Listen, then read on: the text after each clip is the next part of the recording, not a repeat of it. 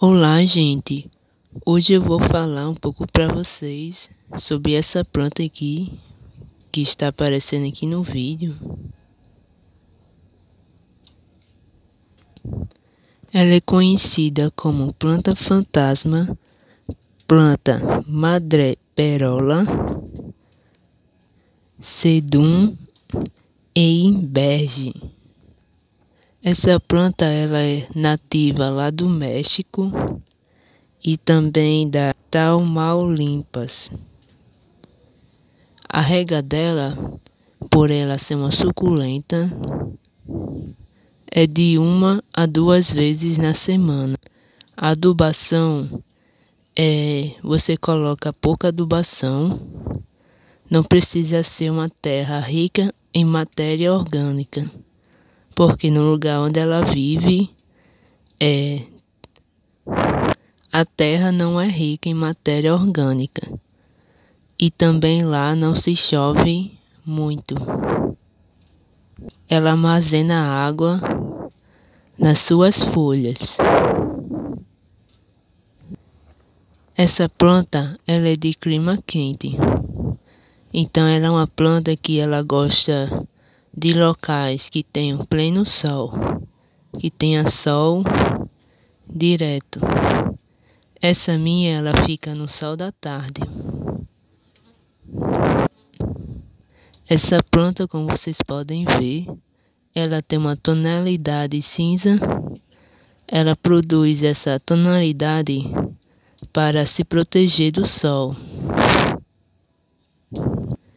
Se a folha da sua suculenta, da planta fantasma, tiver suja, é só você estar molhando ela com água, que irá se limpar, para tirar a poeira que vai se acumulando com o tempo.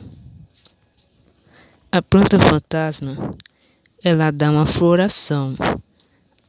Ela solta um tendão com flores.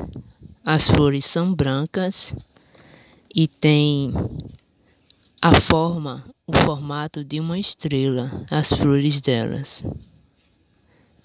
Essa planta, ela não é tóxica.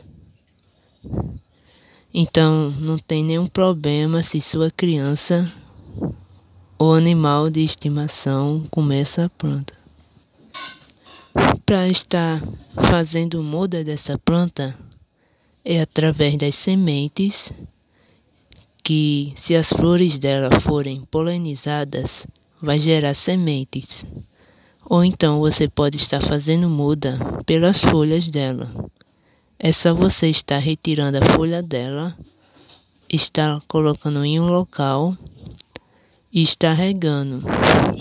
Mas não todos os dias, porque senão pode fazer com que a folha apodreça e aí não vai nascer a mudinha aqui embaixo do jarro eram folhas dela que caiu ó, e nasceram essas mudinhas aqui embaixo. Aqui foi uma folha que eu coloquei e nasceu esse, vocês podem ver.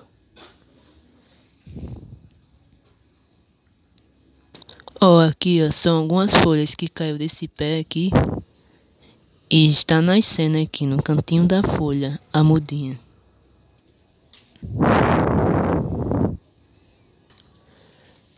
Então são essas duas formas que você faz muda da planta fantasma. Essa planta é uma planta muito delicada. Qualquer coisa que você encostar até devagar nas folhas pode estar fazendo com que a folha dela caia.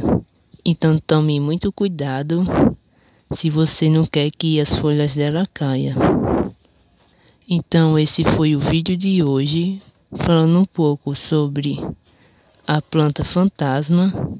Espero que vocês tenham gostado desse vídeo. Deixe o seu like. É, se inscreva aqui no canal, você que ainda não é inscrito.